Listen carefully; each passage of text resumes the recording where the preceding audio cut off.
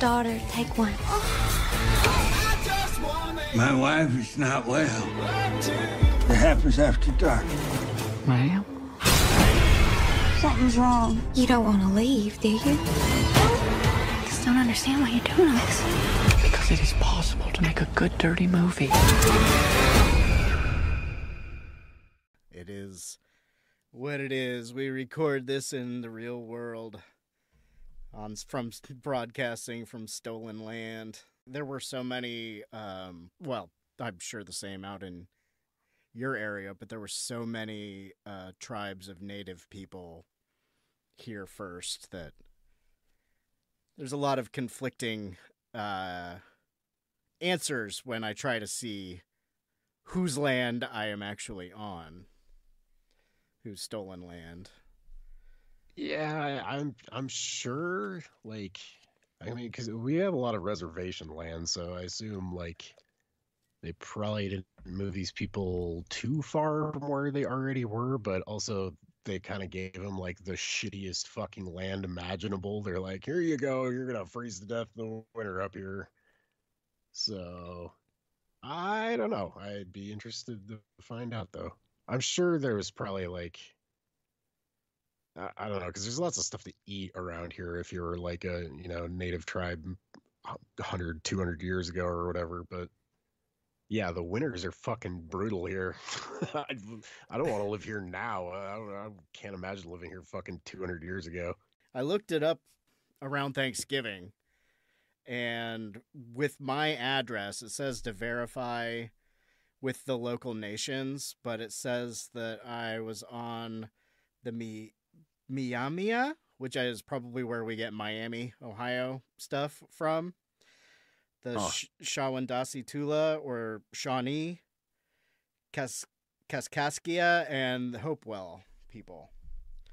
So I've heard, I've heard of the Shawnee I don't think I've heard of any of the rest of those why did I start saying that? I don't know, but now you got me on a Google fucking chase here to find out. oh boy, yeah, there's a whole fucking shit fucking ton of them. Uh, Arapaho, Cheyenne, Crow, Eastern Shoshone, the Ute. I'm in the middle of the state, and like a lot of these like kind of intersect in the fucking middle, so uh, hard to say. broadcasting from stolen land of many a First Nation people. Almost too many to list. Here's Mark. You and I. Oh, the last time I was on the show was April of last year. That's a long fucking time ago. It is a long time ago. I've like 10 months. 10 months you've been avoiding me. And I got you. it's, it's been it's been a busy, weird ten months. I, I've changed jobs twice in that ten months Ed got married. Congratulations. and got married. Thank you, thank you. And went back to school. Uh, Congratulations. Yeah, I went back to school very, very clumsily. I just tried to sign up for classes for the spring semester. I think like two days before Christmas fucking break, which was a terrible mistake. I, almost all the classes I wanted were like already full up, especially online stuff. Uh, so I managed to sneak into one psychology class, which uh, I didn't really want to take. My I think my advisor just needed to fill some asses in an online class, basically. so she's like, "It's an elective. You should take it." I'm like, "I don't really want to." Uh, my, my wife is like getting ready to graduate is with a psychology de- degree. If I want to know these things, I'll just go fucking ask her. I want to take like, you know, some art classes or some like um, I'm I'm shooting for English major. I, I don't know. At some point, I got in my head. I was like, uh, there's like always a demand for English teachers, and Jesus Christ, our country needs fucking English teachers horribly. Because have you seen the way these people write and like talk and uh, it's it's it's atrocious. But uh, anyway, so yeah, uh, probably will take more shit next semester. Like at least like a few few classes. I want to take some music classes also because I definitely fucked that off in high school majorly, and I feel like having a little bit more formal knowledge about the subject might help me out a lot, even though I just make weird fucking bleeps and bloops. But yeah, anyway, busy 10 months. I can't even remember what the fuck we talked about the last time I was on the show. I have no idea. It's probably Well, a comic book show, right? Yeah, it was probably a comic book show. Was that when we did The Crow? Uh, that sounds about right. Because I feel like The Crow was the last comic book we did, unless we did The Batman. We also oh, did that. you're one. right. I, I, I think it was the Batman was the last, the last one I was on. That probably makes more sense because I think when we did The Crow, it was closer to Halloween. Yeah, you're right. We, we could easily be looking this up and know it in like five seconds what the fucking last thing was. But it's more fun to guess, uh, especially for the listeners. It, it is. And, you know, I have actually been looking it up. And Just yes, episode 116, we discussed the Batman.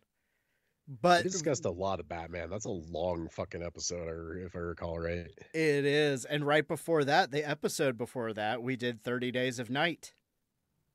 Oh shit! So we were away. Okay, we we must have done that after Halloween because it was the the winter Yes. horror comic book movie, basically. And then af- before 30 Days of Night, I had two episodes with Duncan. And then right before those, we had Dredd and The Crow. Uh, with The Crow that, being that the rascal one. Duncan. He's uh, you and him are about the only people I've podcasted with in the last like fucking year or so. I know. I know. Prior to that year, I had a whole lot of free time on my hands, so I like you know guest spotted on a shit ton of shows. But uh, yeah, it's uh, other than Duncan dragging me out of out of bed very early Sunday mornings to record shows about fucking band movies. I've done the the podcasting stuff's been kind of a, been kind of slow for here a little bit, which is totally fine. Like I don't know, I ca- I go and I come and go in waves of you know how much I want to do these things and how you know it, it's because it's always at least a little bit of a time commitment, even if uh, even if all I have to do is like watch one fucking movie or whatever, like you know I it's still something that's on my plate for a little bit before that, you know Right. but uh th- thankfully like you doing you know doing nasty in your shows it's it, it's definitely a lot easier because i've been recording with you guys for like fucking ever like uh, probably like eight or nine years with duncan and like i don't know six seven years with you or something. I would say some, that sounds about right. last 10 years are kind of a blur but uh yeah. Anyway but yeah that's uh that's kind of what i've been up to. Uh, yeah the the music thing has kind of kind of become more of my jam here lately that's that, that's about all i got time for outside of work and school and shit so uh that's that's about all i've been up to what, what the what have you been up to man the fucking news has been crazy Oh, yeah. Um, I, I will say that school and work and uh, a new spouse and music sounds like a lot going on. Um, and I will say that I, after I switched from journalism to an English major, I took some uh, music classes. That was fun. I sort of, I'm, I'm about. Uh, from that, I took two piano classes in college, and I became about as good as an inexperienced six or seven year old. that's more than most people so that's what I've been using. Uh, trying to remember. I still have one of the books from that class that I get out every once in a while to fucking practice. But um, I've speaking going back to. Uh, we'll talk more about that sort of stuff, I guess, off talking about English major shit uh, later on. I think you'd be it'd be surprised some of the cool electives you can take that are connected to English majors. Some of the stuff that I had were history through comic books. That Um, would be a fucking dope class the films of Orson Welles and Stanley Kubrick. I know there's like a literary women in horror class that our college offered at some point, and this is not the university to be clear. This is our oh, we'll we'll go unnamed local community college, and they yeah had a fucking class where like you sit around and read like Mary Shelley and then watch like movies and shit all about women in horror, which that's that sounds dope. That's definitely my wheelhouse. My piano classes were at uh, the commu- one of the community colleges here. So I did, yeah, I did my first two years at Columbus State University, and which I guess was uh, the building was my grandfather's high school back in the yeah he was in World War II, so 30s I guess was probably when he was in high school. Damn. Um, but anyway, Ohio in the news, you say? I didn't see much about it besides local coverage for the longest time. The mainstream media is not covering it at all. I don't really know that. I, I find out all these things on Twitter, basically. Like, if something is happening, somebody's going to fucking be tweeting about it. It, it was largely it, like I think one of the uh, there's a couple local reporters that I follow on Twitter, and they were like, okay, it's more like the news about the shit that's going on here isn't getting talked about on MSNBC or CNN or Fox at first. Um, Right. But there were a lot of local people covering things and, you know, people on the ground, people that live there uploading shit to TikTok. We're talking about the train derailment in East Palestine, Ohio, I'm guessing is the main thing. Five or six cars that they have told us about so far, about 180 miles to my east on the Pennsylvania Ohio border. That's not very far away. I mean, it is, No. but clouds of toxic waste fucking drifting your way. Yeah. It's tough because agencies in America, I've seen some people saying, well, you know, if the government agency says that everything's fine, then why don't you believe them? And it's like, well, that's kind of what happens in America is a lot of the time they're telling the truth, but then every once in a while they come out with, "Oh yeah, we were totally fucking lying to you about that shit for a long time." Uh, yeah, I mean, really, you, you gotta look at like Flint to be like, what the fuck, man? Like, clearly somebody somebody signed off on shit that they probably should not have, saying that you know everything's fine. Look, look the other way. Nothing here. Nothing going on here. Yeah. Ohio itself has a, despite having a 45% to 55% Democrat to Republican voter base, it is pretty much entirely run by Republicans because of gerrymandering and voter suppression Yeah. and things like that. But um, right. the governor Mike DeWine, who was, I mean, especially during the government taking COVID seriously times, he did a press Those conference short lived. every day. He did a press conference every fucking day. Talking about everything. like he was on. Twitter talking about stuff. Right. He almost lost his reelection because talking about COVID made him a rhino to the Republicans. Uh, those who aren't very political nerdy, a rhino stands for Republican in name only. And he was getting attacked from the right, despite being extremely anti reproductive choice, anti union, anti labor, anti raising the minimum wage, anti everything. Like, He, he opposed So the. as right as right could be, except for he was talking about COVID, so people almost didn't reelect him. Yeah, and he, you know, we locked down for like two months or something like that. And by lockdown, it means you had to order carry out and your have your deliver your groceries delivered if you didn't want to, you know, it was it was ridiculous, especially compared to Europe and the rest of the world. But they called it a Right. lockdown. We had the state house with those people like licking the fucking glass, looking like Night of the Living Dead pictures, if you remember. I That do remember. that state house is downtown here in Columbus. And there were people from all over the place coming to protest the COVID lockdown, even though they were allowed to leave their house and go to the Capitol, Capitol building. They were still being prevented from going to the gym or whatever the fuck they. Anyway, sorry. Governor Those DeWine. are fun times. Yes. Governor DeWine uh, said pretty much said everything was okay. I mean, he did. There was uh, the first day or two, it was leave your house or you'll be arrested if you live in a certain mile radius from the train derailment.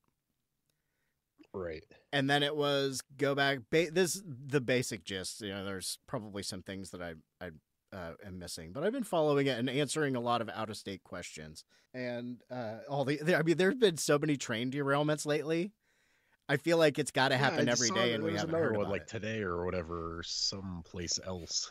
Yeah, there was one in Texas. I think the day after the one here in Ohio. That was outside Houston. I think there's one near Detroit that happened. But uh, I mean, the water in the area around the town in Ohio, where people were saying they were outside and their skin turned red and they were having trouble breathing, and their uh, the water looks like is it the raft in Creepshow two? Sort Yeah. of reflecty, like oil slick. rainbowy and uh, people are there's reports of dead animals downstream, dead fish. Um, you can go back into your home, but let us know if you want to check to see if your basement is a death chamber of gas. Jesus Christ. That that sort of shit. What was on the fucking train cars that derailed? Well, the second day they said the thing. I had it written down just in a- case. Some just awful, like un- unpronounceable element that we don't even Yeah, like. something the chloride. know what it is. But then there was another one that uh, a couple days later, because you have to test for specific poisons. You don't just do a test for all chemicals or anything like Right. that. Uh, so after they did the first test, when they told people they could go home, then the train company said, "Well, there was there was this too." Oh man, they they they they just got like an entire fucking train like full of awful things. They're like, Yeah, at, at least there's like a strong possibility they might not even know what the fuck they're carrying. Like the the uh, the the rail industry is kind of a hot mess right now. Yeah, vinyl chloride was the first thing that they told people about. Five cars of vinyl chloride, and when it derailed, part of the reason why they say it was derailed, and uh, there's footage that seems to corroborate claims that the train was on fire for 20 miles before it got to the town. The brake area of the train, uh, it it spans multiple presidencies.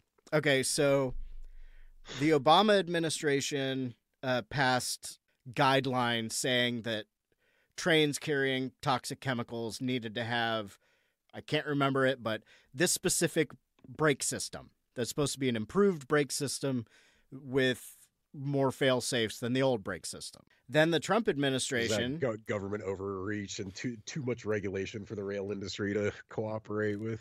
Exactly. It would have cost them too much money, and that money needs to go to stock buybacks. The Trump administration said, no, you don't. And then the Biden administration didn't say, uh, yeah, you do. And they also were, uh, it's not wholly this. I, th- I think I've seen the oversimplified, well, when Biden crushed that strike, this wouldn't have happened. A lot of other shit had Right. to happen, but yes, this was one of the safety concerns that the rail workers were voicing before they were forced to sign the new agreement. Yeah, not only is their equipment fucked up, but yeah, they're they're working like the stupidest fucking schedules imaginable and aren't allowed to like take sick days basically is kind of the long and short of it, which I mean it's probably the same as is true for a lot of other industries, but uh yeah, we're we're uh at the fuck around and find out the end of that phase here as far as rail workers go. Like these people should be able to take as much time off as they fucking need, and they should probably be getting paid better. And uh, yeah, we're we're about to ruin an entire state's fucking water supply because they didn't want to spend the money to operate safely. Vinyl chloride, either it was either the vinyl chloride or the other chemical that they said when they burned it so it didn't explode more. It released a gas that I that was used in World War One chemical warfare before Oh, good. before they signed those things saying that that's not good, even though everybody still does it. Uh, it, it was looked it up, uh, similar to mustard gas. I looked it up. Vi- vinyl chloride is used to make PVC, such as PVC pipe and packaging and coating and wires and shit. Ah, and when you so burn it, it makes phosgene or phosgene, which is a gas that can be highly lethal and was used as a chemical weapon in World War One. Uh, it's CBS.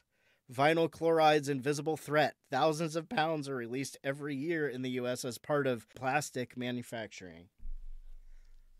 So yay! Uh, but uh, Yeah. as for government response, uh, that Weasley little governor that I was talking about, they usually had a press conference every day. He was pretty much not talking about it, although he is presently a defendant in uh, gerrymandering lawsuits, and his name has brought been brought up quite a few times in the racketeering and bribery trial of the former House Speaker Larry ha- Householder. One of the defendants killed themselves when they were indicted, and it was I think it was sixty-one million dollars in bribery. It- uh, I don't want to say the number because I don't have it on the top of my head, but it was an energy company, apparently or allegedly, bribed the Speaker of the Ohio House to help pass a bailout of their nuclear plants and two of their coal plants in another state, and then also helped block the Citizens Initiative that was going to undo House Bill 6 and undercover FBI agents that have recorded talks of transactions and money for support and things like that uh, donated to his campaign or given to him personally in checks. The state attorney general has been brought up saying that he would have opposed the legislation, but since he took campaign money from them, he decided not to oppose it. I mean, this is all being alleged in court right now. The trial just started last month. Uh, but also, there's connections to the governor's aides. And sometimes he takes some time to sign things, but he signed that bill like within hours of it being passed. And going back off the, I don't want to say the derailed train, but talking about the derailed train, he waited quite some time, and then a few. eh, There, there was a there was a state response, but his main thing was just saying everything. I am told everything is fine. And then he was interviewed by somebody and he said, Well, President Biden called and offered me federal help. So far, I have not called him back. And he sort of chuckled. And because he chuckles a lot when he talks, or at least I think he does. Maybe it's just because I loathe him. but he was like doing the Republican thing of like, Oh, the Democrats offered help. We don't need their help don't worry about it. And people got really pissed. I mean, they had a town hall meeting in East Palestine, and the rail company changed their minds, and nobody from them showed up saying they were afraid for their physical safety. I don't know if it meant that they're they're going to get their asses kicked, or if it's like an Erin Brockovich, I'm not going to go there and drink the water, sort of shit. I don't know. Right. So yesterday, the uh, the train derailed on the third or fourth of February, and it is now after what is this? The seventeenth. Anyway, the derailment was two weeks ago, and yesterday was when he announced that he reached out for federal aid. Uh, new Senator wild. I didn't J.D. realize it was two Vance. weeks ago. Yeah. I, I I definitely I think just heard about it within like the last week or so. So maybe maybe it did take for fucking ever for any kind of media coverage. I don't know. Income incoming uh new sen yeah the the uh, derailment was February 3rd. JD Vance, we have a Republican senator and a Democrat senator. JD Vance is the Republican one and he took 10 days before he said anything about it. And he showed up 10 days later to complain about lack of government reaction. I don't know. May, maybe my perspective on this is weird because I come from such a teeny ass, like the least populated state in the country. But like, if a fucking train crashed in Wyoming and had a bunch of toxic shit on it that was just like burning and maybe seeping into the fucking water supply and getting an entire fucking city worth of people fucking sick, it would be the biggest goddamn news like of the year for like pretty much anywhere in Wyoming. So uh, I, I don't know. It, it's got to be like I don't know, not maybe necessarily like a cover up is kind of a bad you know that makes it sound like a conspiracy theory or something. It's definitely there's an attempt being made to sweep the shit under the rug i would say is fairly realistic. I kept looking for stuff and i kept only finding not i mean local journalism is where it's at but it just seemed odd to me because i i similarly thought that it should have been a bigger story and should still be a bigger story because I think worst case scenario, it's you know millions and millions of people being affected, and the but the town itself, I think, eh, has a pop- population of about five thousand people. So not not a huge place, but five thousand fucking sick people because the government government and a fucking corporation both fuck things up horribly. Like, uh, yeah. Should be bigger news for sure. I think that's the main fucked up thing going on around here. If that's what you meant by Ohio being in the news. Yeah, mostly that. I've, unless there's unless there's other shit, which I'm sure there probably is, but that was the big one. The only other sort of national thing or thing that I think should be a national story is that they're redrawing.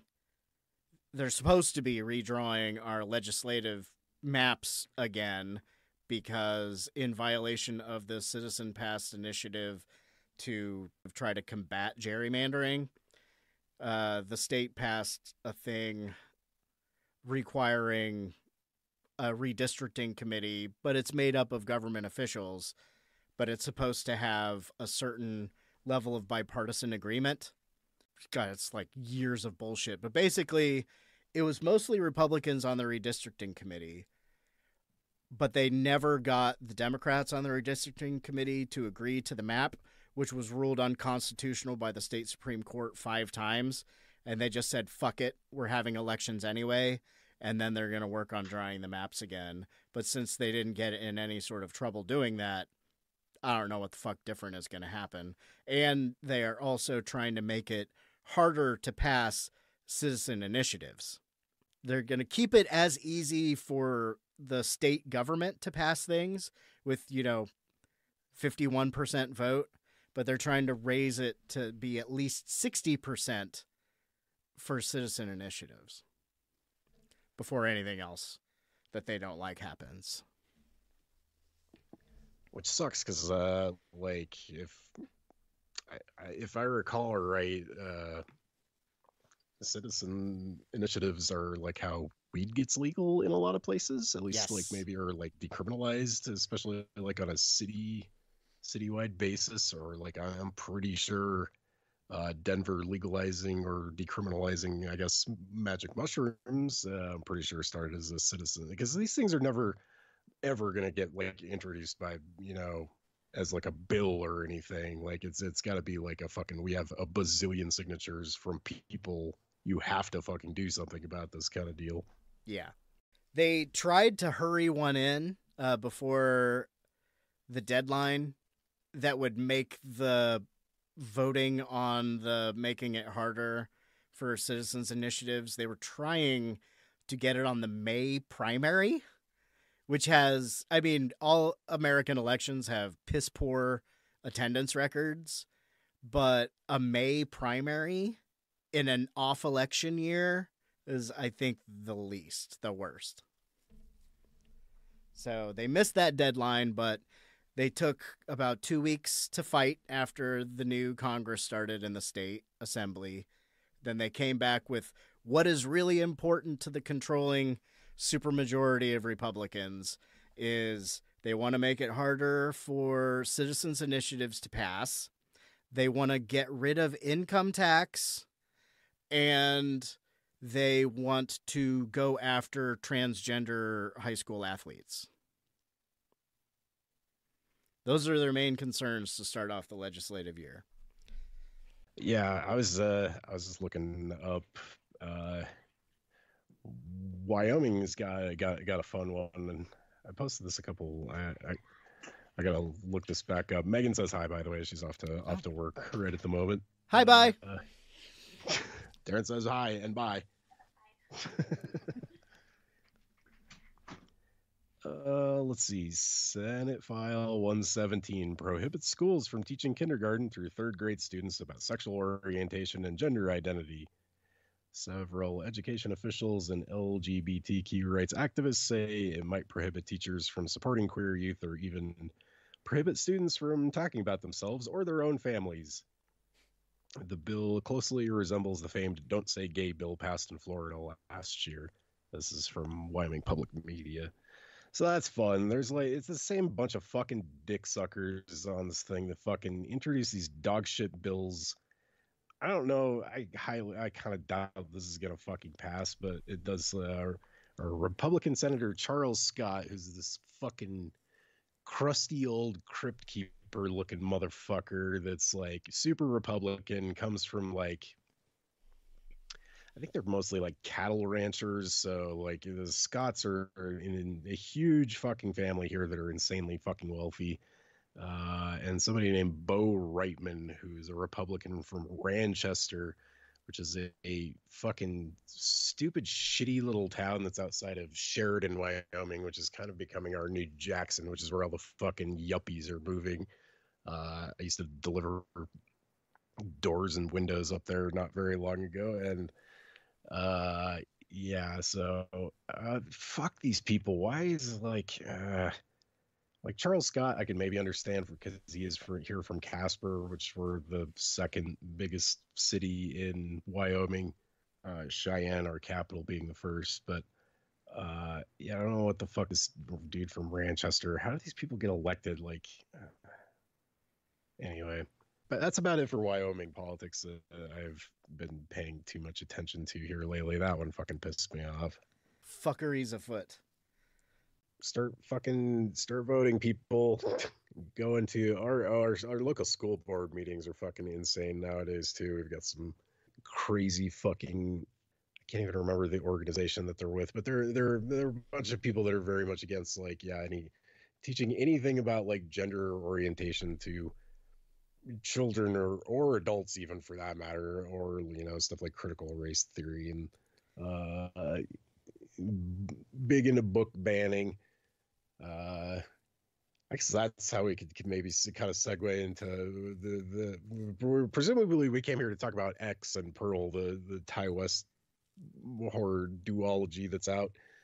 I kind I kind of mentioned you know I, I basically just saw that you'd watched X pretty recently. It was like I fucking love X, and I haven't really got a chance to talk, you know, at length about it too terribly much on a podcast here lately. So I was like, uh, we can ro- loosely tie it to like, you know, it's a movie about making porn, so like censorship and uh, there's all these fucking weirdos on Twitter nowadays. I don't know if you've seen any of these tweets where people are complaining and saying that like they don't think there should be nudity or sex scenes in any movie ever again because it makes them uncomfortable and they should like so some people were even like it should be illegal to put sex scenes in movies and uh yeah uh americans would be having flashbacks to the Hays code but since i'm so deeply in ingrained into the fucking whole video nasty thing that's that's what i thought of it was like oh they want to bring back censor- censorship that's super fun. Uh, well, we do have international listeners, so feel free to expound on that. Well, the the video nasty. Uh, there's a great, huge documentary that Severin put out that you can get on DVD still for pretty cheap. That explains it a lot better. But in kind of a nutshell, uh, during the '80s, like when VHS was first starting to become like a big deal, they uh, it was kind of an unregulated market and there was i mean there was like there, there was a rating system in place for films in theaters kind of like there was uh here in the states but uh th- there was still a, a lot of you know anxiety and fear around how open the film market became once home video became a thing. Like basically anybody could make a fucking movie, get it printed on however many copies of VHS and get it out to the market. And uh, a lot of, you know, uh, exploitation film became super transgressive kind of around the late 70s and early 80s. So all of a sudden, like, you know, there's this huge concern about having stuff like Cannibal Holocaust in your home where a kid can see it. And like it, it got to the level of insanity where like there was an actual like child murder somewhere in the UK and it was blamed on Child's Play 3. Like the like the the media whipped people up into a frenzy thinking that like you know the fact that you could go to a shop and buy or rent you know a horror movie was like warping the country basically and ruining like it was a, it was a big moral upheaval and you know uh, pornography uh, i'm pretty sure like I, i've studied that a little bit less because it doesn't really come up in talks about the video nasty stuff like these were you know I, uh, stuff like deep throat and like debbie does dallas and the farmer's daughter which is apparently a real fucking porn movie that's regional to somewhere i'm sure it's or at least i'm pretty sure. So somebody posted it might might have see it might have been like an ai thing or something that somebody just like whipped up you know of an actual vhs but I, i'm gonna go ahead and just believe that there is an actual movie called the farmer's daughter that Ti West based the the the the, the scrappy group of pornographers that are protagonists in X who are very charming people and are all played by like really great actors.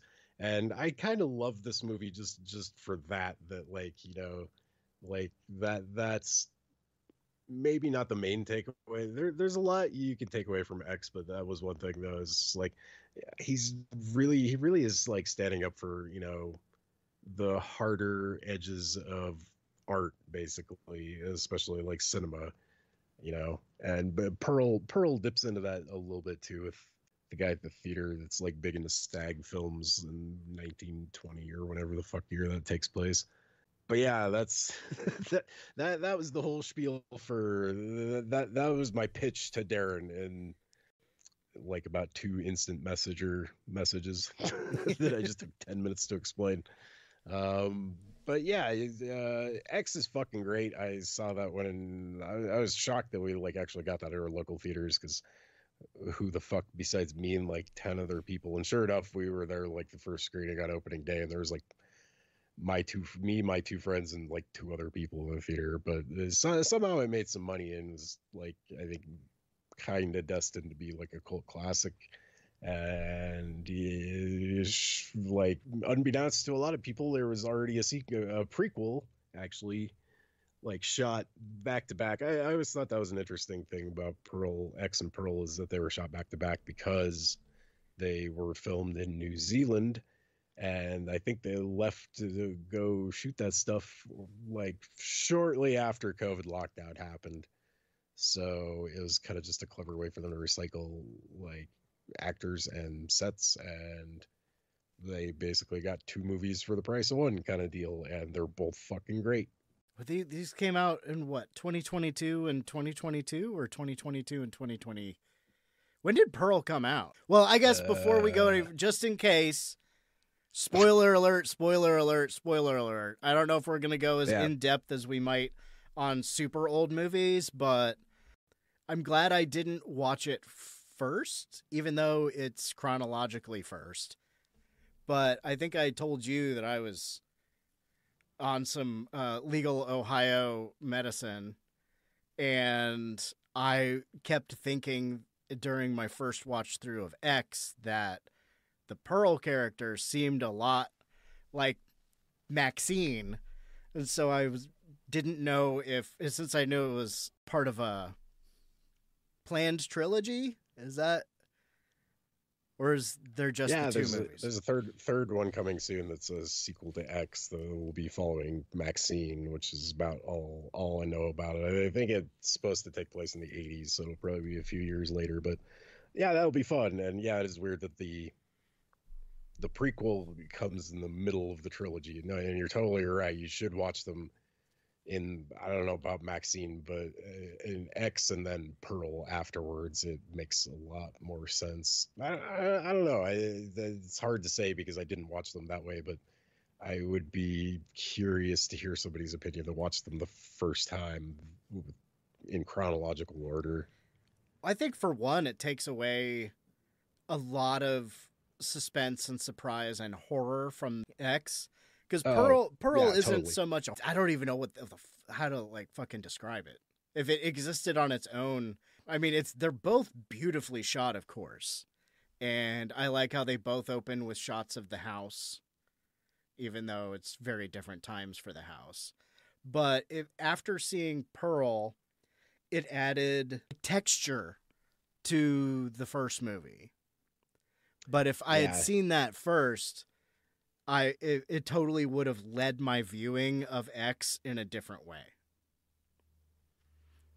Yeah, and you're you're totally right. It would it would have ruined a lot of the suspense, and because you don't know you don't know for sure what exactly like if you just go into this like not having watched the trailer or anything. If you go into X cold, like you know, you know it's a horror movie, so you're pretty sure something bad's gonna happen, but you don't really like you know.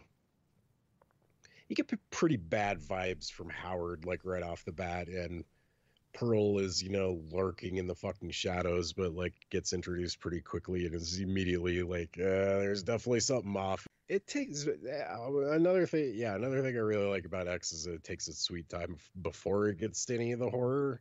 And I genuinely like every single one of these characters and actors. And, you know, this is, uh, this, this is a fucking amazing cast for the kind of movie that on the surface X is. It's, it's a silly fucking horror movie that A24 put out, but X is definitely it's got some fucking layers to it, and so you know there there there's there it's got a lot to say, and some of it I found really sad, especially about you know Pearl and Howard, and you know the the passage of time and how fucking like miserable they basically are and like they they, they haven't fucked in you know decades maybe definitely years it kind of sounds like and yeah you know mia goth is fucking gorgeous too so like i mean you think about her as like an 80 or 90 year old i don't i don't know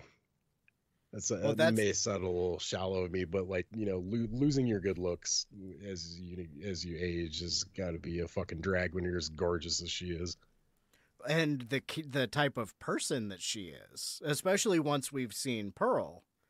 But I think she she makes it pretty clear what she thinks about and the things that she appreciates or values in herself and people in X. It's largely looks and romance. yeah and I, I guess, well, at least Howard hasn't fucked in a long time. It kind of sounds like part of their homicidal kink is getting. pe- I don't know. The first time I thought I for I thought that the uh, the person in the basement was JR, but that's not right. it's not who the fuck is it then Okay. I think it's Howard goes off on a rant about that last bohemian that stayed here traipsing around in, you know, barely any clothes, but oh there's a later part where another character runs into JR uh where we last saw him. So he's uh remind me which which one's jr is he the Oh, younger guy He is Jenna Ortega's boyfriend slash the filmmaker. Uh, what is what is her character's Okay. name? That one guy just calls her Church Mouse. Uh, Lorraine. Yeah. Uh, Jr. is the long haired filmmaker that uh, gets his "Why are you such a prude?" line thrown back in his face, and he doesn't know how to handle it. which we'll, we'll get back to that here in just one second. I didn't realize until this watch when I looked up, like I, I was trying to. I think a lot of people confused that actor with the dude from the Evil Dead remake that opens the fucking opens the Book of the Oh. Dead because they, they're like dressed the exact same and have the exact same haircut and are, are very similar.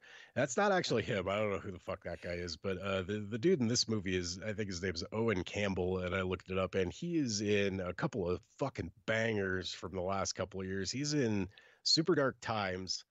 Uh, I haven't seen that in a couple of years. I, I saw that at Fantastic Fest a few years ago, and it fucking knocked me on my ass. Uh, I forget which one. I think that was filmed quite a while ago. So I think he's he's one of the kids in that. I think he's the fucked up creepy kid, and he's also the fucked up creepy brother in My Heart Can't Beat Unless You Tell It To, which I don't know if you saw that one, but another movie that just like, oh dude, it was like getting hit with a fucking atomic bomb. It fucking made me feel things that I didn't know. I I didn't know I needed to feel basically, but uh, yeah, little, little side tangent. That dude is a fucking great actor, and he, he's he's pretty great in this too. And he's playing he's playing a really difficult part, I think, because he, he he's he's got to be the jackass, which we would all like to think that we'd be, you know, the the the the other hip cool people, but uh, in reality, most of us would probably be him and would be like, nah, I don't want my fucking innocent little girlfriend banging in your fucking porn movie. So uh, that, that, was another thing I took away from this is what it has to say about I, I guess about sexuality, which I mean, it's like, you know, you'd be like, no, duh, it's a fucking movie about pornographers, but uh, like more than that, like just about like what is like what is sexual freedom to people, at the end like you know what, because that dude really like, I mean, they might be. It kind of barely sounds like the two characters are actually like dating or whatever. Like, like I, I don't know. I, it's not really my place to judge like other especially fictional people's relationships but like even still like he doesn't own her like she she is she is her own person and she can make her own fucking decisions. And like he really in a way doesn't even really have a place to say like no.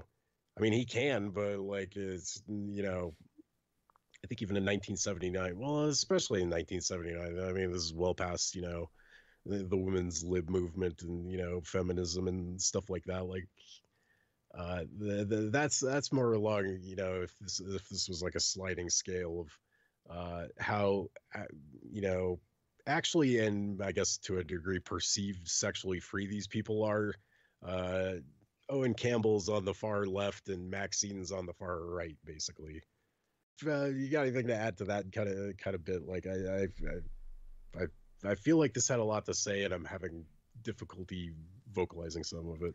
I feel like I hear what you're saying, and RJ. I kept saying JR. It's Who RJ. shot Jr. Yeah, who shot JR? It wasn't Kid Cudi, who I didn't realize was Jackson in this movie. I don't know much about Kid Cudi's music, but I know them from the last Bill and Ted movie. uh, but yeah, it's. Uh, I think Maxine had a cool little speech when they were all sitting around, and uh, Lorraine was sort of talking through her evolution of sexual morality after the first day of shooting, where you can't really help who you're attracted to. You can choose who you love, but that's different. And also Yeah. a thing that they were talking about with when the camera's on, it's not the same as real life in a way. And the connection of, uh, well, you know, nudity and horror go all the way back. Nudity and movies and film go all the way back because people like to see other people naked. But it's hard to tell how old RJ is, but he is referred to as the kid that was it Wayne? Is that the executive producer of this? I think Uh, so, and I think he called he he Wayne has a line where he's like, "I I, I you you don't know what it's like to be Oh. forty something, but I know what it's like to be twenty three. Yeah, I think you've is what you've never been 42, but I have been 25. I think Yeah. is the line. And it yeah, it's about the evolution of perspective and things. And I know I was a much more jealous person the younger I was. Um I don't know if it's Oh yeah, definitely. growing into confidence or whatever. But I, I remember being bothered by things that don't bother me today. And uh, I don't know if that's the right way to put it. But and not just Uh, not just and- about and sex either. Being but insecure, yeah, I was definitely more insecure about myself at 25, much more insecure about myself when I was 25. and also just didn't understand, you know, the psychology of not just people, but especially women.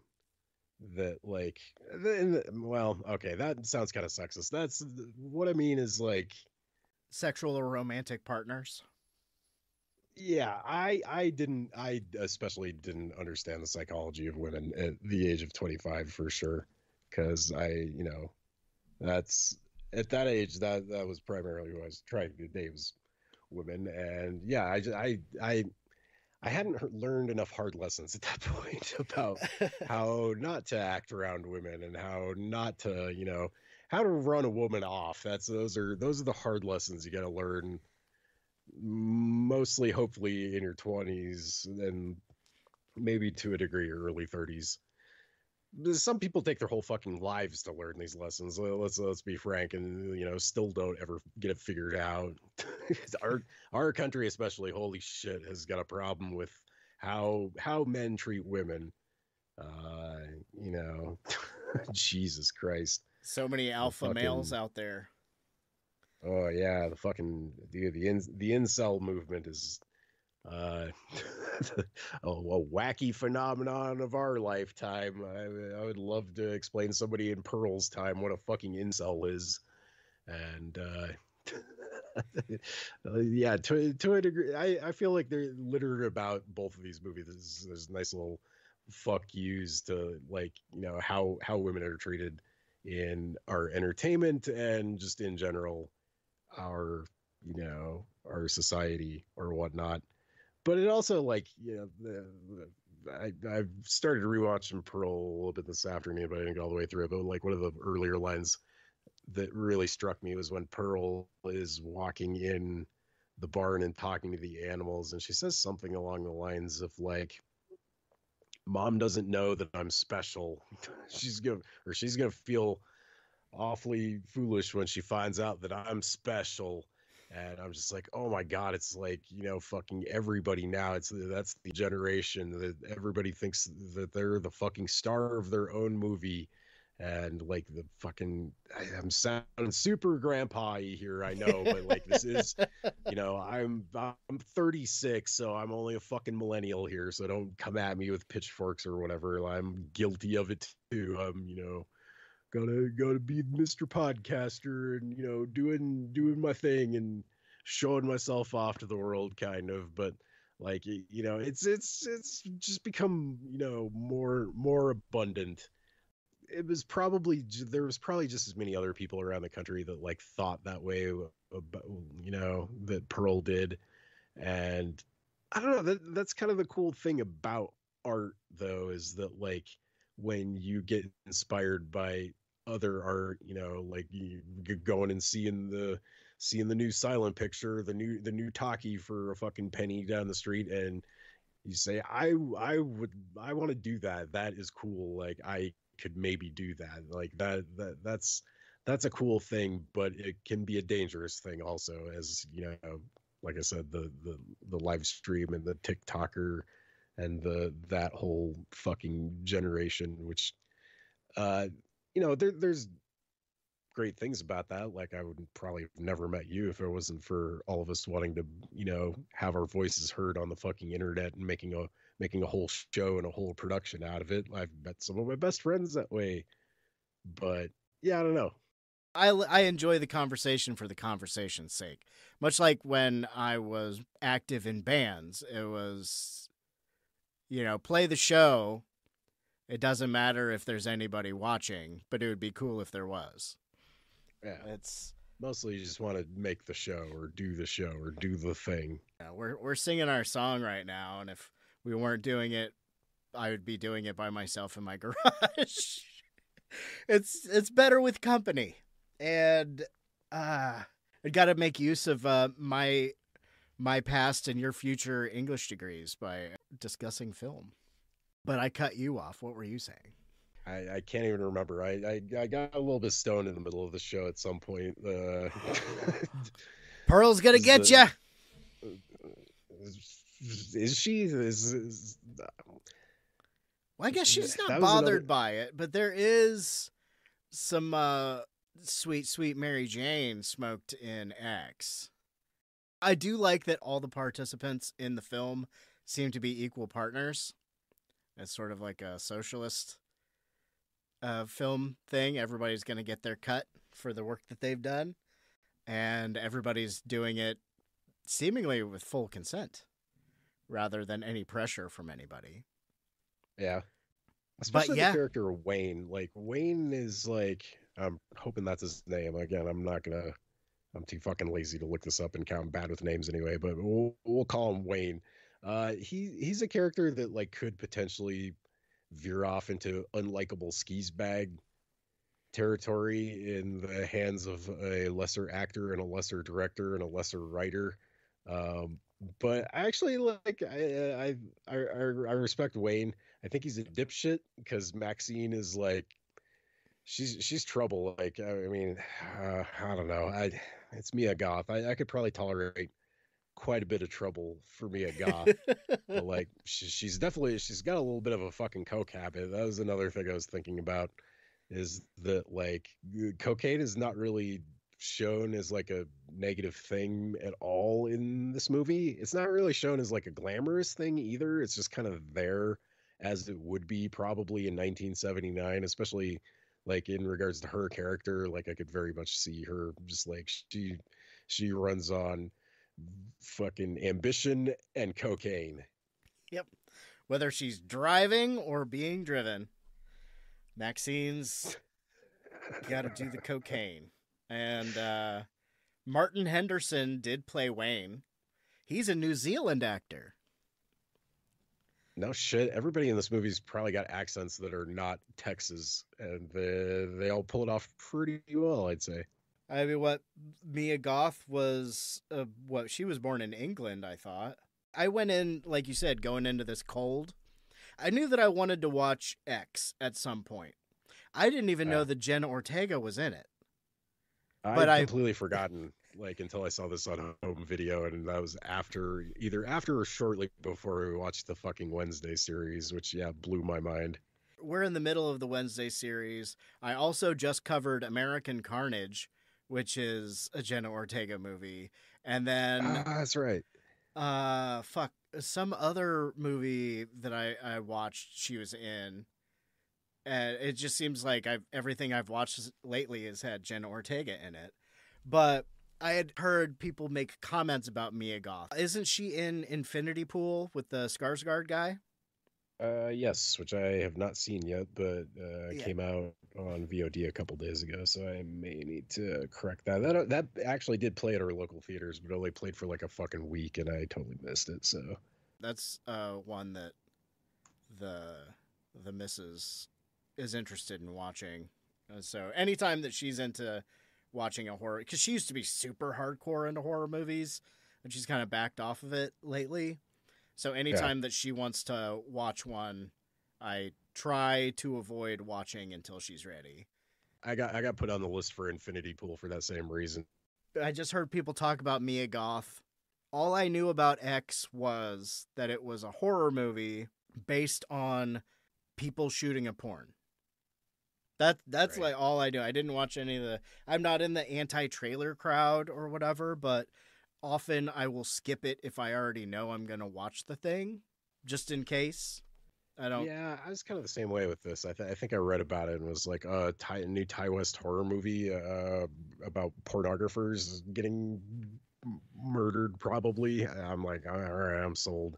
yeah. Which is weird because like I don't have a great a great history with Ti West movies. Uh, what are, what are your thoughts on House of the Devil? See, I am a fan of House of the Devil. You you are not a fan, I'm guessing. Uh, I'm a fan of like about four minutes of it, and the rest of it I think is fucking horribly boring. I don't remember thinking much of the Innkeepers, but I don't remember. Totally thought I'd seen that one, but I don't think I have. He's actually got quite a few fucking movies I have not seen. I haven't seen The Innkeepers. I haven't seen The Sacrament. See, some of these I don't he, like. Have your next listed here. I know uh, he did not direct that. He's in it. I'm pretty sure, but um, Cabin Fever 2. I know he disowned that movie, but uh, it's it's it's fun and bad in like a trauma kind of way. I don't know. I kind of I kind of dig Cabin Fever 2. You don't you don't have a strong affinity for Ti West. Yeah, not not especially, but for whatever reason, I was excited about this one. I, I don't know, like he he's done some stuff that I thought was pretty okay, like Cabin Fever two, and but yeah, I so I don't I don't I don't really know what the hook was for this one. I think it also came out in like February or something, so that was like you know, any any horror movie that looks even halfway decent that comes out in fucking February, I'm probably gonna be all about. It came out in March in the states, so yeah, early spring is a weird time to put out a horror movie. So I was probably hungry for something along those lines. Uh, Mia Goth's fucking Wikipedia page is goddamn banana pants. She was married to Shia LaBeouf from 2016 to 2018. Oh, really? Yeah. I had no idea. Uh, she is Brazilian, and British, and Canadian. And uh, she's in the Suspiria remake, apparently, which I it's been a couple years since I've seen that, so I don't remember who the fuck she might be in that. She's also in A Cure for Wellness, a whole bunch of shit I have not seen, but I remember a thing I saw her in. Go ahead. I I know what, what have you seen her in? I just said I remembered it, and now I'm like, uh, it was. Is it Nymphomaniac? No, it was Mayday. I saw her in Mayday. The I think that was Mayday. 2020 or 2021. It's a weird, it's bleak movie where I don't know what to say without giving too much away, but uh, she was in it. Juliette Lewis was in it. It's like a girl ends up in an alternate reality. And I got the synopsis here in front of me. Oh, it says okay. a, a young woman is transported to another world where a never-ending war is raging. There, a clutch of women lure men to their deaths at sea via radio transmissions like 20th century sirens. She soon realizes she's not the killer they want her to be. Uh, this sounds fucking rad. Yeah, uh, I forget where. I think Amanda read about it in Bitch Magazine or something like that, and we we watched the fuck it. is Bitch Magazine? it. It's a feminist magazine. Sounds. I love the title. Ah, we used to have a subscription to it, but I think now it's all digital. Uh, but yeah, it's cool, and it's yeah, it's World War One or World War Two sort of motif. I, I would just say it's weird and cool and dark and worth watching. But I think that was the only thing besides the Suspiria remake that I definitely remember her from. Well, I don't remember her definitely from Suspiria, but I saw it. I seen it. She's a great actor. Yeah, and didn't she help write Pearl? I think so. Uh, Or- She's definitely listed as like an executive producer. I think she did. Uh, yeah, she's listed as a screenplay with Ti West. Okay. So, I mean, especially with it taking place, and and it makes sense. I this very well could have been planned ahead, but if you're sort of trapped in New Zealand, trapped in New Zealand, but you know, if you can't leave New Zealand and you're going to work on a movie and the timeline lines up and you're sort of stuck there because of COVID restrictions, totally makes sense to have a movie that takes place around 1918 because that's when the uh, they called it the Spanish flu back then, but everybody fucking had it. They just wanted to make people prejudice against the Spanish. Pearl's husband is fighting in World War One, and I think what she says in X that he fought in both world wars. Um, I think maybe. she I think she tells Maxine that when they're talking in the house. Like he fought two wars for me. There's not a lot he wouldn't do for me. nuts. Was that like a? There couldn't have been very many dudes that fought in both wars. Yeah, because I what I World War One was going on in 1918, 1919, and American involvement in World War Two wasn't until after Pearl Harbor, 1941, 40 or 41. So if he was 18 in 1918, So, yeah, because X is 1979, so yeah, you'd be 79 years old. That's, I mean, that lines up. I just don't think realistically. I'm, I could be wrong. So somebody out there could probably correct us if there was actually like a good cross section of you know dudes of a certain age that fought in both fucking wars. That seems horrible and cr- cruel to send a man to fucking war twice.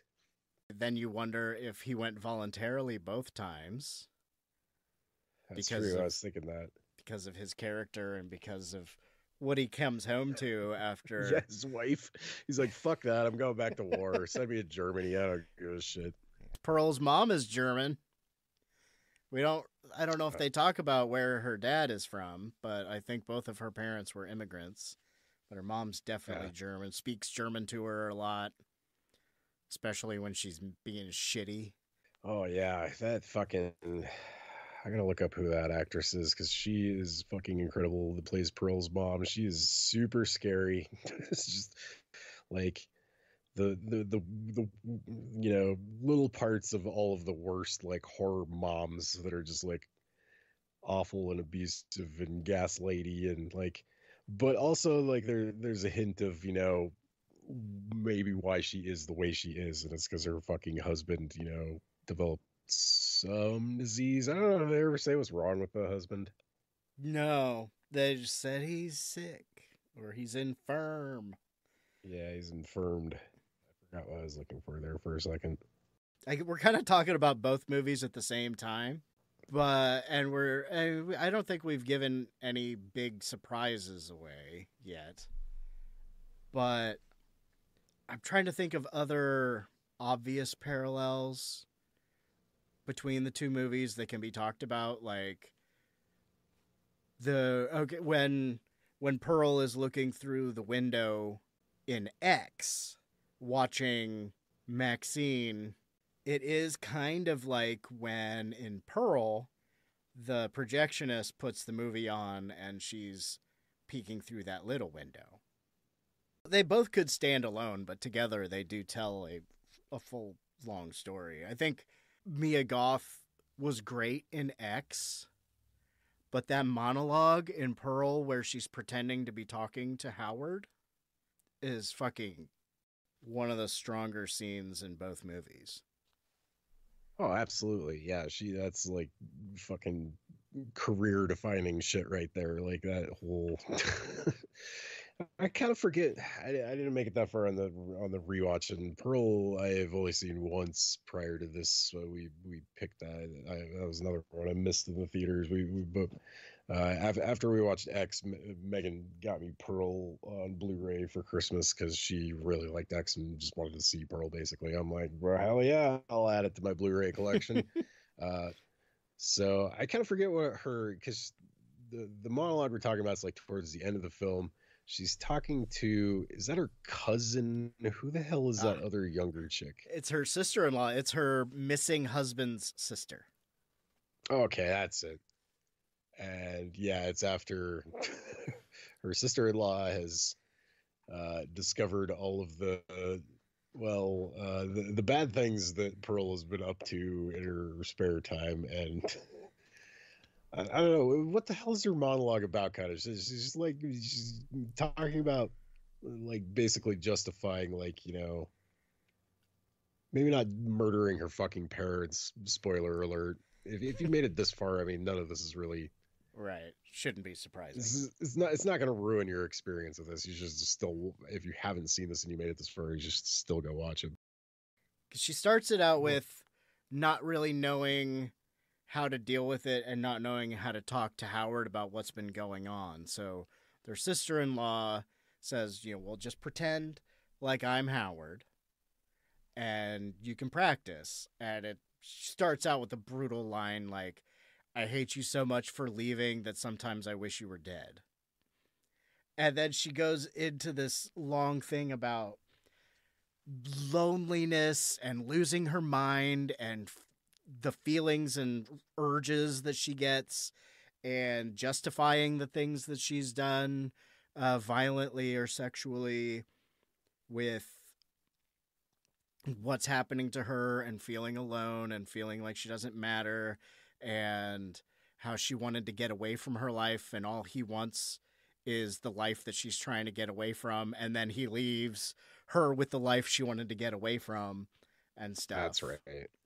and she cries during it and i mean it's just two people at a table and it's a powerful scene I think I remember reading somewhere that they did like three takes of that, and that hmm. was the that was the one. Tandy wright plays her mom Yep. Uh, yeah, I, I had that in front of me. She's a New New Zealand actress in a bunch of shit I have never seen, but she she's real good. the set dressing for both both films seems so just attention to detail everywhere you look in both movies Uh, one thing I noticed was the the baby dolls because there's like a weird like almost jump scare in X with the you know like dirty and dusty creepy baby dolls. One of which has blue eyeshadow, which is a thing that like kind of I don't remember if it's really in Pearl at all, but in X kind of goes back and forth because Maxine's wearing this blue eyeshadow, and after Pearl, creepy old Pearl has been spying on her, you should you know she, there's a shot of her busting out some blue eyeshadow and there's also a creepy baby doll which yeah they they they reappear in pearl all nice and cleaned up like i think they literally did just use the exact same like like house for both movies and i they they shot x first so i imagine the house was probably in like not super great shape and they found it and you know basically rented it out and then they got to fix it up for Pearl and make it look, you know, old. And uh, the people that owned the property said they were going to keep it like that. They're like how it looks in Pearl is how it still probably looks. oh cool and of course it's an a24 movie i didn't know that either before i watched it It's like 30 movies that A24 put out last year that I haven't fucking seen. if it's a24 i wonder if it's gonna pop up on i think showtime has a a24 collection on their streaming site which is often available for a week or two free trial uh, through Right. itunes and other places. Uh, i think they're advantage connected to paramount plus now. I think it's it, it, there's gonna be one channel eventually but i think paramount bought showtime if i remember okay. Yeah, I think I heard something about that. Yeah, I'm pretty sure you're right. So I, I remember seeing something about that because uh, I don't know if you watched the season one of a series called Yellow Jackets. I did not. I have heard really good things though. It's it's super sweet. It's like uh, uh, an oversimplification would be to say it's kind of like Lord of the Flies in the '80s with a girls' soccer team, but it goes that back and pretty rad. it goes back and forth from remembering what happened in the 80s when they were a high school soccer team that their plane crashed and they were out in the middle of nowhere. And some of the people are adults also and that stuff's going on in their adult life. Uh, christina ricci plays the adult version of one of the girls uh, juliette lewis plays the adult version of I think the punk girl. You know, there's an 80s punk girl in there. Um and then uh, what's her name? I think she's an uh, Australian or New Zealand actress uh, that was in uh, Dangerous Creatures or whatever. Uh, and but I'm a cheerleader. Melanie Lynskey. Does that name sound familiar? Uh, nope, but she might be in it. Uh, I'm looking up the cast. Uh, yep, that's her. Okay, Okay. I know her. She's uh, Last of Us, if I recall, right? Okay, I haven't started watching that yet. And uh, Sophie Thatcher from like the upcoming Stephen King movie Boogeyman, and uh, I think she was in the Book of Boba Fett, and a couple other things. She plays the young version of uh, the Juliette Lewis character. Uh, but it, it was a one season long, but they have been working on season two. I think season two premieres uh, in March or April of this year, 2023. I think, I think Elijah Woods in season two. I think I heard that as well. But speaking of visual media that uh, my wife read about in Bitch Magazine, I think that's where we heard about Yellow Jackets also. Uh, it's definitely recommended.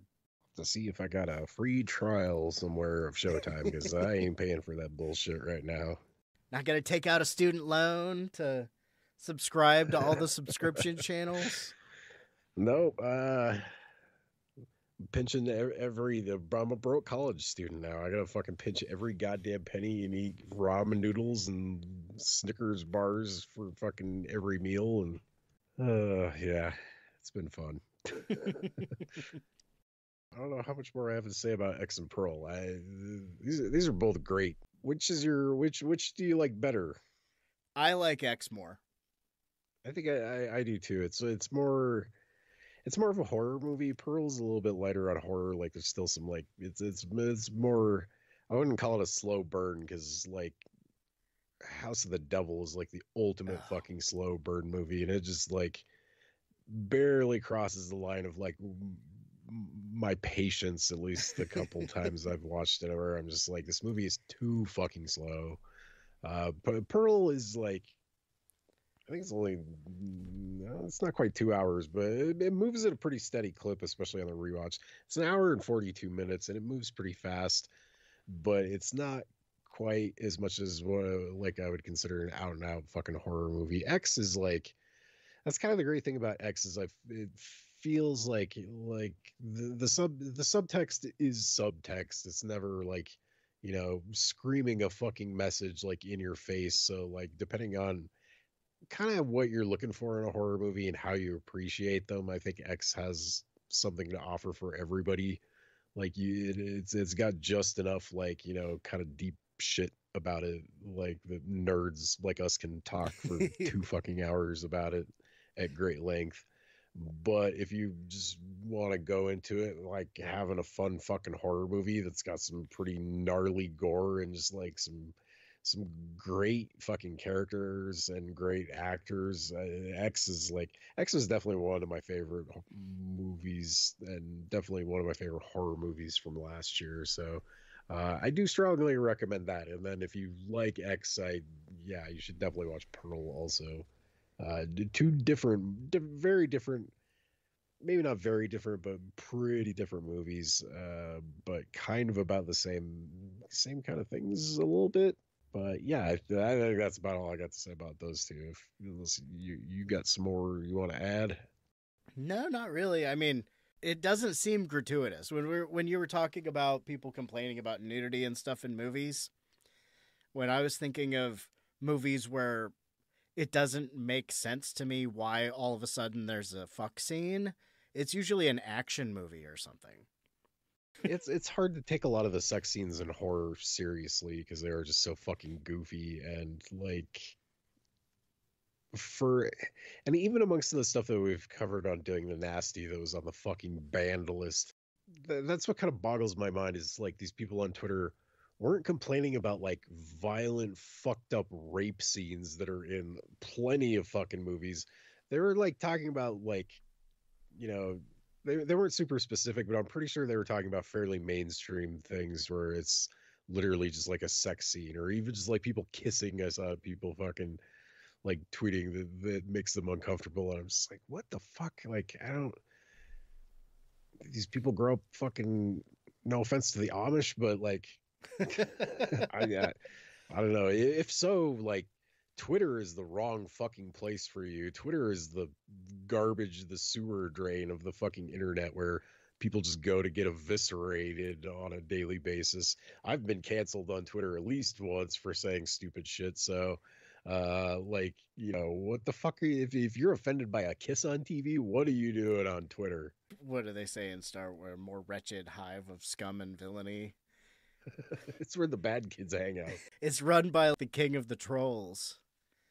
Yeah oh boy that guy is fucking man like the, the the captain of the ship is fucking drunk blindfolded and locked himself in his room and like all everything bad is ha- happening on the, the the twitter ship that fucking shit is falling the fuck apart speaking of falling apart, let's talk about Pearl's mom's hair. But that hairbrush is in both movies also.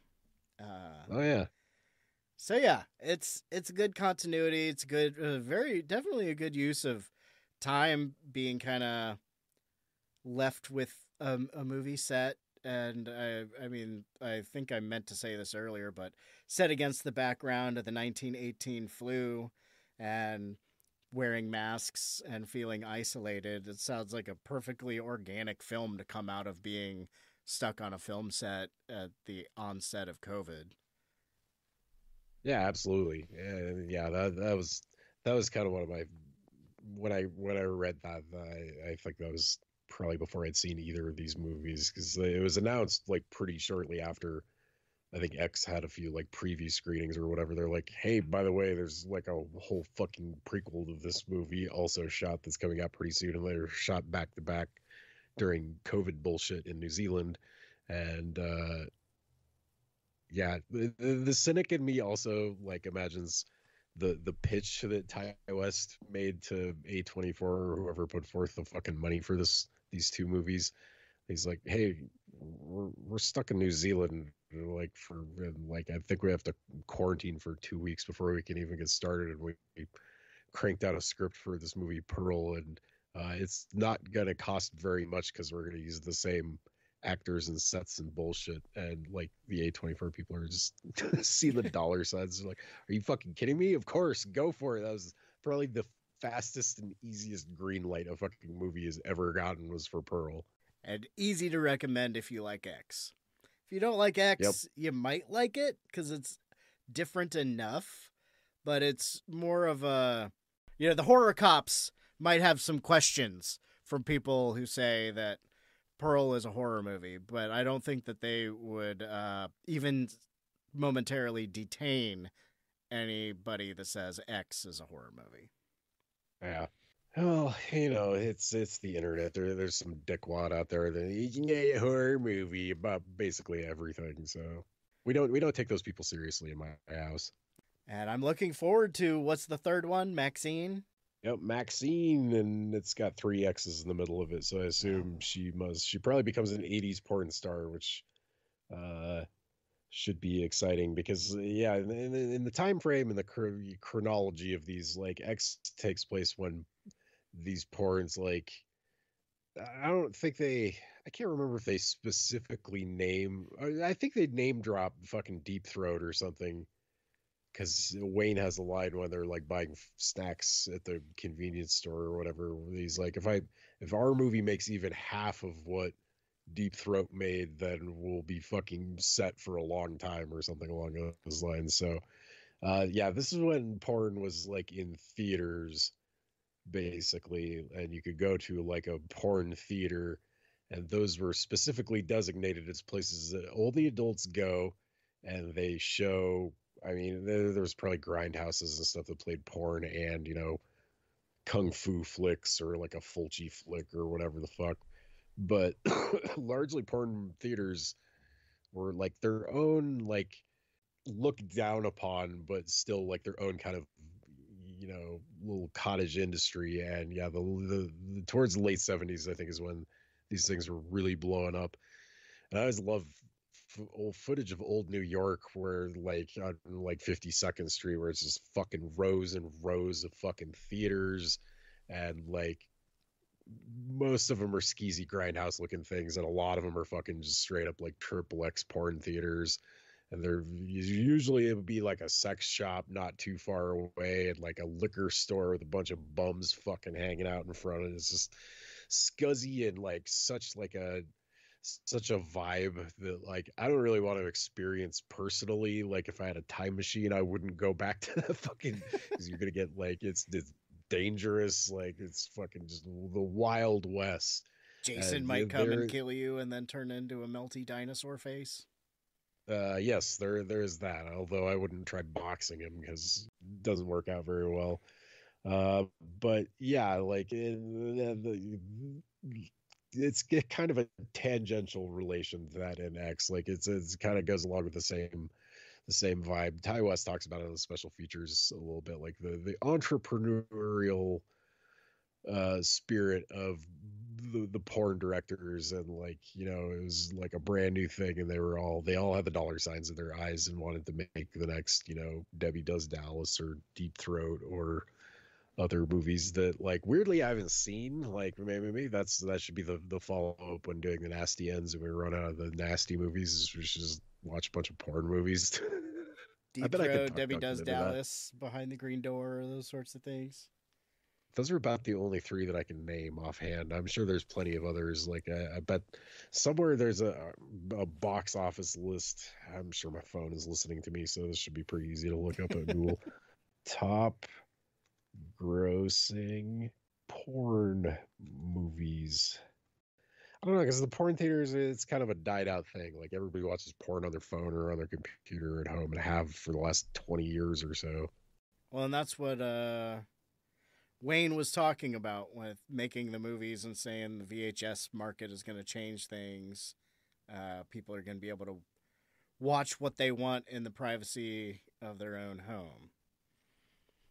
Oh, does he? Because that's yeah, that's it's pretty ahead of its time for '79. Like that is really when I don't think VCRs really like super caught on until well, I guess like yeah, 80, 81.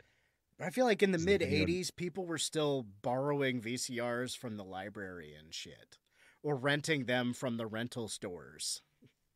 Yeah, I'm buying a copy of like fucking whatever Rambo or something of VHS costs like 90 fucking dollars.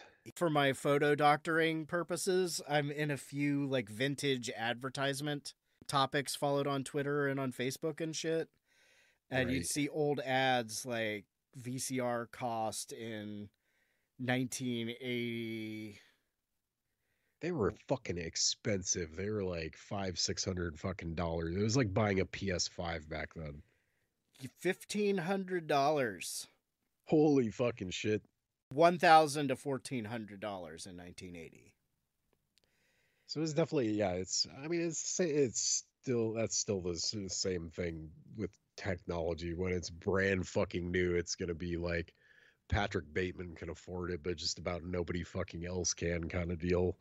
Uh, so but and that I've heard it explained that that's a reason why like for so many years like buying a fucking copy of well well it's it's two things they couldn't fucking manufacture these things like fast enough. It's kind of like what vinyl was doing for like a couple years there, where like they couldn't fucking.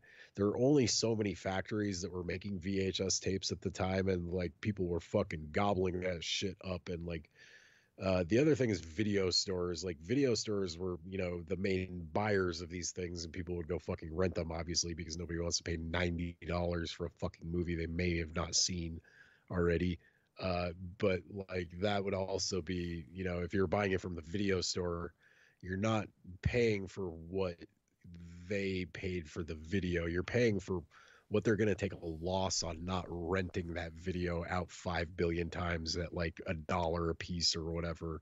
Like that that that tape is easily worth fucking you know 90 fucking rentals and at that point it's going to be falling apart especially if it's like fast times at ridgemont high and people have fast forwarded that one scene or rewound that one scene about 500 times. 90 viewings is like pretty optimistic. But I, don't know if if you run VHS tapes on clean players, they it's not so much like the physically like because VHS tape, the actual tape that's inside the fucking thing is pretty stout. The problem is it degrades over time. So that's what part of why I backed off big time on uh, collecting VHS shit is because it's gonna fall the fuck apart like soon within our lifetime. All I think all of it's gonna be pretty much fucking garbage. So uh, not really a good investment nowadays in like the collector's market, but there are people paying insane amounts of money for shit uh, for some fucking reason. Um, anyway, but yeah, I've I, I, I don't know. This, this shit kind of fascinates me, like the, the early days of home home video, and what like what a Wild West shit show it was, kind of, especially in the fucking UK. Like this, like freaked people out, and you know, I'm sure it, it these things come in waves. Like it's the the new exciting thing that all the kids are into. So like, eventually somebody's gonna find a problem with it, and with the right media manipulation they they will make it everyone's fucking problem and start litigating this shit, which is insane. That's an interesting thing to think about the the videos of nasties too. Is like a lot of these these people fucking like Mary Whitehouse especially never watched any of these movies. Like they they hired other people to watch them and then like you know at best got their opinion on you know and this is a great dramatization of a movie called Censor for anybody out there that hasn't seen that movie. It's kind of a fictionalized version of one of the UK video nasty, like the the BBFC, the British Board of Film Classification, which was like an actual government, you know, government paid for basically committee to rate and classify films, and they they were the deciders if your movie could be fucking released in all of the all of the UK. So, which is kind of fucking insane. And uh, a lot a lot of movies got the fucking axe or they they got the hedge trimmer and got chopped to fucking shit and released in crappy versions. Like and this is this is all obviously like a few like just barely a few years before I was born is kind of the mind blowing shit. But like, I mean, the, the the repercussions of a lot of this, you know, this talk basically, you know, bled over into the '90s as well. You know, the the first time I saw a whole lot of you know what have been, gone on to be my favorite movies were in heavily edited versions on TV, and it's it's it's all about you know protecting the children from this you know material that supposedly although is not backed up by science whatsoever will harm them. I don't i don't know. Porn, porn is a little bit different like i but i mean really is it like what what's worse? Like what, do you want your kid to see less? Like two people fucking or two people killing each other? You could make the argument that like children shouldn't be exposed to either of these things until they're either a certain age or a certain and I, was t- I forget what we were talking about. So somebody was talking about like age is like you know age is a weird like way for people to like on a national level quantify what they actually mean as maturity basically so like it's it's uh, it's it's it's, it's different between different countries as far as like the, the the rating system goes obviously. In the states here like you know the r rating for most theatrical movies is like where they will actually like even give a shit how old somebody is that's going to a movie and it's 17 is the age which i i don't really know the story on why they settled on that because obviously like 18 is the age to do a lot of things in this country that's when you're technically considered an, an, you know your own adult. Um but like pornography is 21 in most places. I don't there's i think that's changed recently too and i think that's maybe more to fit like basically all international standards because people from all around the country are like, you know, for example, accessing stuff like Pornhub. So I think 21 is like probably the maximum age in most places. I don't know. I, I've never really. I should I should have looked some of this up beforehand and is uh, like a little bit more of uh, an authority on these things. I know another great movie on the subject is uh, this film is not yet rated. I think it's called. Oh, this is- film was yeah, not yet rated.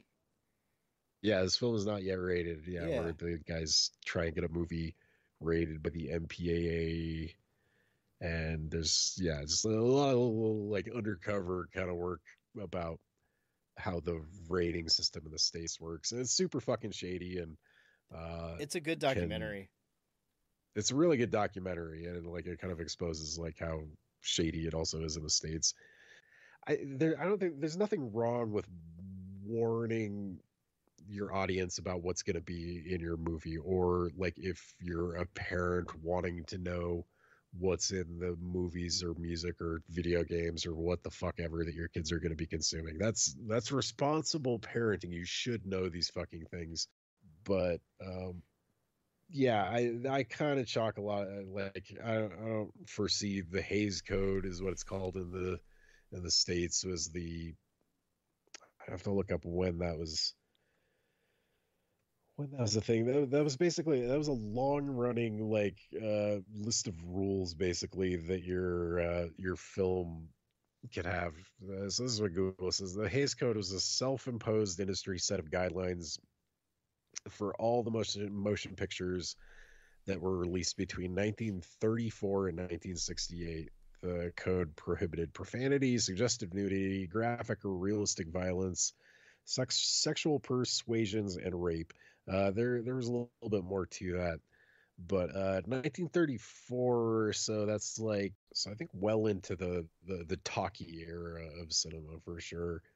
But the Hays Code, as my understanding, is kind of a gathering up of like up until like 1934. There, there aren't really any like humongous fucking movie studios. I don't think like uh, you know, cinema is still kind of a relatively new thing in the tw- in the 20s and so kind of in like uh there's another great documentary that now i can't think of the, what the name of is but it's about nudity in film and uh yeah this uh, different states basically prior to the Hays code had different rules about what could be in a movie and what couldn't be in a movie and largely that was in response to like stag films and porn much like what fucking Howard, not Howard, what's his name? Johnny, the projectionist from Pearl, is showing Oh, off, and he's all I Can't remember he's all his stoked. name.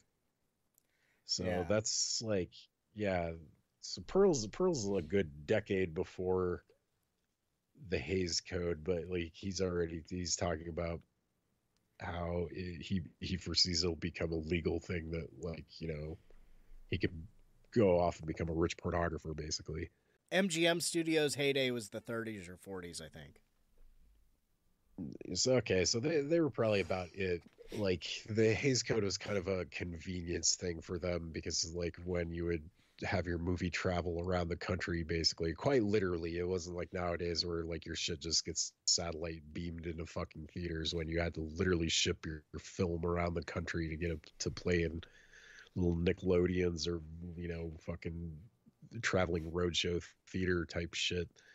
Uh, you would have to cut you'd have to have different cuts for different states depending on depending on the movie especially like if, if it had like a lot of you know even if it wasn't like you know specifically a porn movie if it had like you know different innuendos there there there was some fucking Hays Code shit about inter interracial relationships also which I- don't really know like people were pretty compliant with the Hays Code like there's lots of great movies uh, prior to this or like the early days of the Hayes Code that like really toe the line in regards to what was allowed in movies but for the most part like uh, porn went pretty well underground until like the 70s when this you know shit was repealed in the late 60s basically. But uh, yeah the Hays Code sucks. It's fucking racist. It's sexist. It's anti-artist.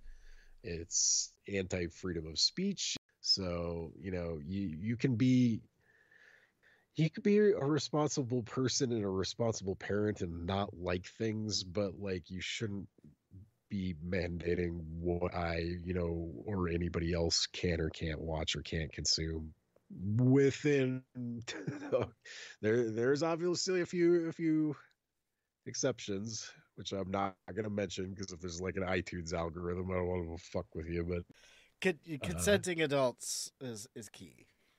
yes yes exactly. If no if nobody got hurt in the entertainment that i'm watching then there's no fucking problem.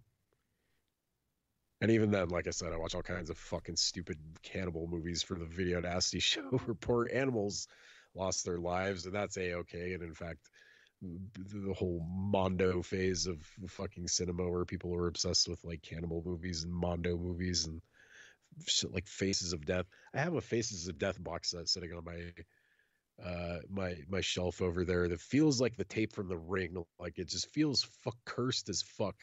But like i also own it and i'm a glutton for punishment and i feel like it's like my civic duty to watch these things and report on them so that they're not forgotten but also people don't have to experience them for, for themselves. I, i'll do it for you. But uh, i haven't gotten to that point yet because i'm afraid